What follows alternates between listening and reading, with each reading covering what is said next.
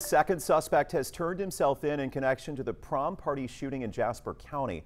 11 teens were hurt in the shooting at this house on County Road 263 back on April 23rd. Last week, four people from that party were arrested. Prosecutors say the suspects had a beef with a rival group.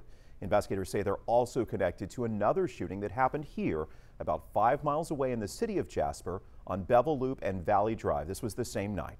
Police believe 21-year-old Terrian Collins and 19-year-old Jaquise Bell were at that second shooting. Investigators say at least one of them shot back at the other four suspects from the prom shooting. Collins turned himself in today. He is charged with failure to report a felony. Bell turned himself in yesterday. He's also charged with failing to report a felony, but faces two other charges, deadly conduct and aggravated assault. All right, let's